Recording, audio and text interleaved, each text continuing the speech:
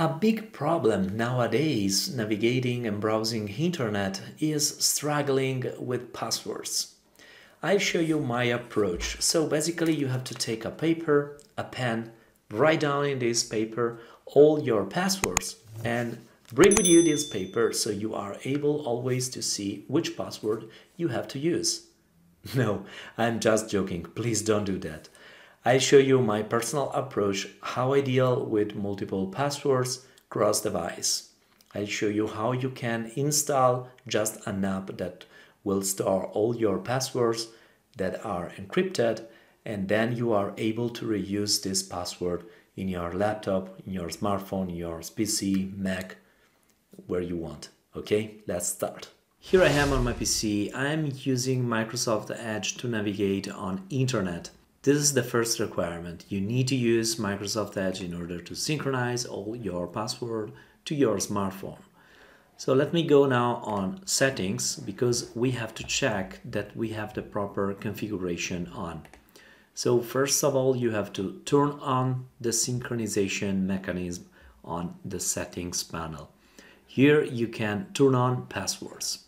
Then going back and clicking on passwords, here you have to make sure that offer to save passwords and suggest strong password is set to on.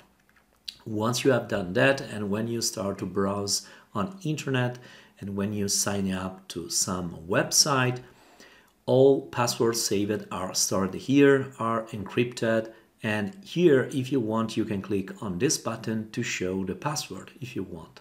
Here you have this additional column that tell you the health of this password. Suggest strong passwords. It's a very nice feature that helps you to find a very secure password. Let me show you how it works. Let me jump on a website AS Roma. This is my favorite football club. And if I want to sign up to this site, I can click on the button sign in now, if I go on the password field and if I click with the right button, I have this option suggest strong password. Clicking on this one, I'm able to generate a password and this feature comes exactly from Microsoft Edge. Clicking on in this one, now I selected this password. If I go forward and if I proceed with signing up on this website, this password will be stored directly in Microsoft Edge and it will be encrypted. Now let's jump on my smartphone and I'll show you how all passwords are synchronized transparently. Right now I am on my Android device. First of all, I'm going to open the store, the Play Store, and then I'm going to type Authenticator you have the Microsoft Authenticator app that shows up. There is also the Google Authenticator, but what offer the sync mechanism for password is the Microsoft Authenticator. I already installed this app. If I tap on open, first of all, I set up the fingerprint recognition. So providing that I'm able to get in and here I have listed all my accounts. These are all accounts where I have the code authentication or where I have the multi-factor authentication, which provides additional security for your account. Before to deep dive this app, I want to open Google Chrome because it's very interesting to know that the suggest password functionality coming with the Microsoft Authenticator and integrated in Microsoft Edge for desktop or laptop comes out also here on the smartphone. Let me go on the password field and here as you can see I have suggest strong password because I'm using Microsoft Authenticator on my Android device. If I type on it, I have a strong password which is suggested. So I can use this one or I can cancel. Let me cancel this one right now and let me reopen right now the authenticator app. Again, there is the recognition, sign in, and then let me tap on the ellipsis button. Here I can add additional account or I can go on the settings. In the settings, we have the notification, you have a sound or a vibration when you have to provide a code or when you have a multi-factor authentication.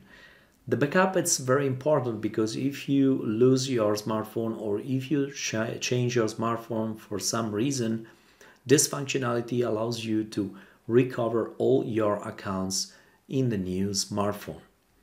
So in this way, you are always able to use the multi-factor authentication along with your accounts. Finally, we have the security section with the app and screen capture. If you want to allow or not the screen capture, I turn it on right now because I'm recording this video. I'm have to be I am to be able to show you my screen. Then we have the sync account. Here you have to sign in, sign in with your uh, Microsoft account. And then there is additional uh, option like require biometric or PIN. Turn on this option to have more security.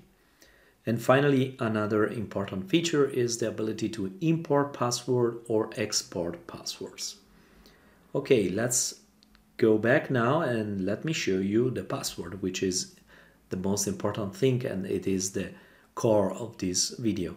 So here we have a list of all websites where I signed up.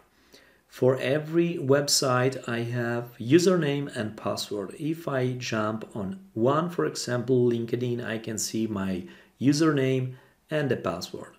So I can display the password if I want all new password it doesn't matter if i am on my android device or if i am with my laptop or my desktop every new password is synchronized automatically so you will have always the ability to check all your password which are, are listed here are encrypted as i mentioned it.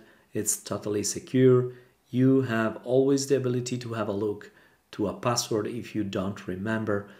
But don't worry because this is automatically provided and offered to you when you navigate to the uh, website. For example, if I open Ryanair, I have already the username and the uh, password suggested and fill it out on the form. I don't need to remember or to type my password again. This is a great benefit. You have always your password uh, with you. It's as I mentioned, it's it's totally secure and additionally you can save payments information as well.